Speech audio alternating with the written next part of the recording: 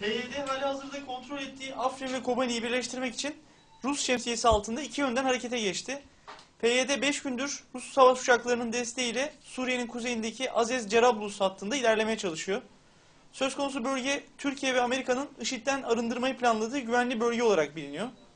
Putin 23 Ekim'de PYD ile Esad rejimi güçlerinin birleşmesi gerektiğini söyleyerek örgüte Suriye'deki iç savaşa rejim safında devam etme çağrısı yapmıştı. Konuyla ilgili bir de harita vardı. Bakayım.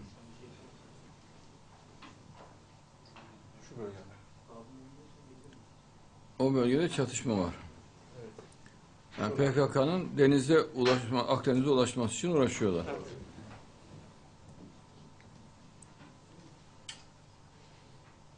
Amerika'da seyrediyor. Fransa'da seyrediyor.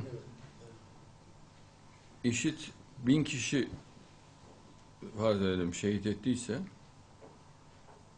PKK 100 bin kişi şehit etmiş terör örgütü. Bunlar teröre karşı değil, bunlar Müslümana karşı. Bak PKK Müslümanlığa karşı diye hem Rusya hem Amerika hem Fransa derin devletleri destekliyor.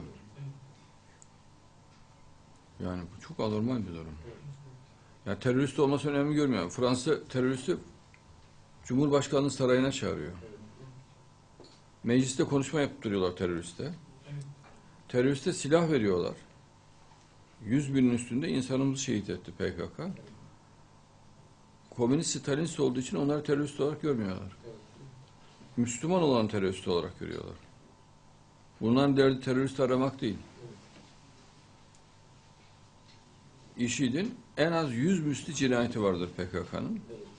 Hiç önemli görmüyorlar. Ve bütün güçleriyle Fransa, İngiltere, Amerika, Rusya PKK'yı destekliyor.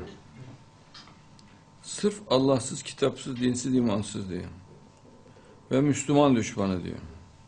Müslümanlar da daha hala uyuyor. Daha hala bakan da ne diyor?